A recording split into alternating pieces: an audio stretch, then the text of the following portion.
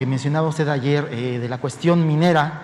Eh, hay muchos juicios que se tienen en Estados Unidos y que le cobran al gobierno mexicano, muchos eh, despachos que le cobran una fortuna en la cuestión de, de, dinero. ¿No habría la forma de que el gobierno de usted tomara esta parte de los litigios y finalmente los buscara resolver como usted lo ha hecho, platicando con las personas involucradas, como en el tema del litio, en el dado caso que, este, que también le queremos preguntar? La comunidad guarijía, que es una de las comunidades más pobres del país, los indígenas, que a raíz de una compañera que no está el día de hoy, es reina, eh, después de muchísimas décadas tuvieron ya la atención. Eh, no habría la forma de que tanto en la parte de los juicios el gobierno mexicano tomara finalmente la idea que usted tiene de resolverlo directamente con los involucrados y en el tema del litio que impulsa el senador Armenta, eh, se tiene ya esta posibilidad, este estudio de, cuánto podría beneficiar en dado caso a los guarijíos, convertirlos incluso en ser de los últimos eh, en el eslabón de la cuestión de, de, en la pobreza, a ser alguno, uno de los grupos más ricos del país, presidente. Sí, no descartamos esa posibilidad. Y estamos pendientes de todos los juicios para no perderlos, para que no se afecte la hacienda pública. Por cierto, hoy en la mañana, hoy temprano, eh, me estaba informando el consejero jurídico que diez días antes de que el juez concediera la suspensión a una empresa o a un particular sobre la reforma eléctrica, diez días antes le habían corregido la plana a ese juez los eh, magistrados en otro asunto parecido, observándole de que no podía eh,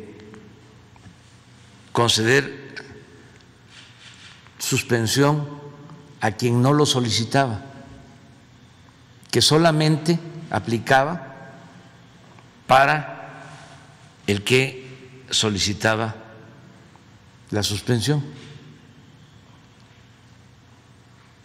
Entonces es interesante porque este, lo que hizo este juez eh, fue eh, generalizar su fallo, hacerlo extensivo. Entonces vamos a, a enviar como complemento de pruebas a el Consejo de la Judicatura esa resolución que fue resuelta por unanimidad, es decir, todos los magistrados. Pero antes de que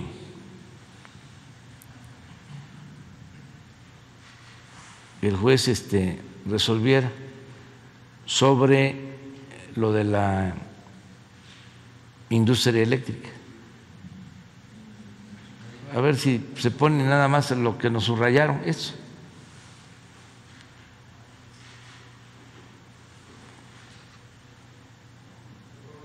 Los jueces de amparo no pueden ordenar directamente en sus sentencias la protección de los derechos de personas que no hayan acudido al juicio de amparo.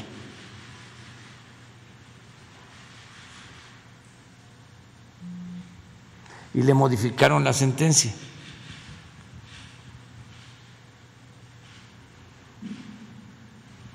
Pero esto lo tiene que revisar la judicatura. Solo lo expongo porque se rasgan las vestiduras. hablando de que es una intromisión al Poder Judicial y que no debemos intervenir. Bien. Y en el, último tema.